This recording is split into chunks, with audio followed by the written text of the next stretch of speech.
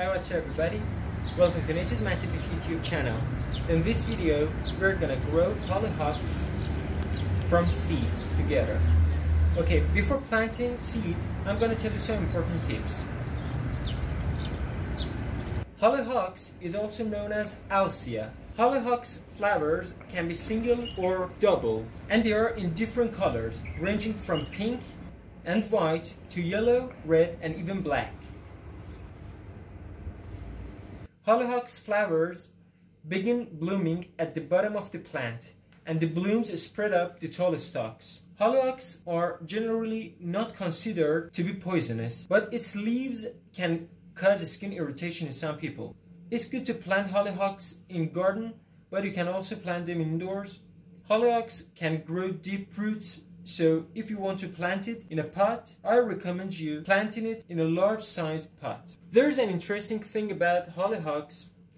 Hollyhocks are one of very few plants that can be planted in proximity to black walnut tree because they are tolerant of chemical juglone that is emitted through the tree's roots. Okay, hollyhocks can be planted from seed. In this way, we need to wait for flowers to wither.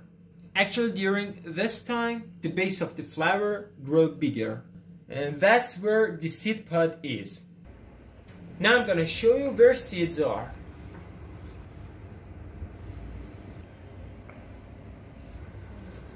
These are the seeds.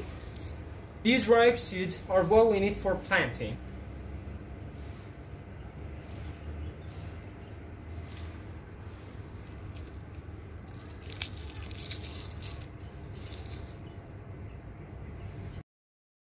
Okay, now we just need pot and good quality soil.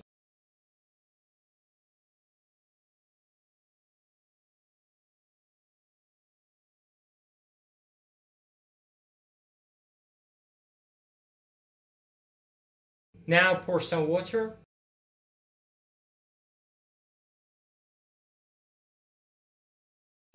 Okay, that's it. Uh, thanks for watching. Don't forget to like and subscribe to my channel. Peace. Goodbye.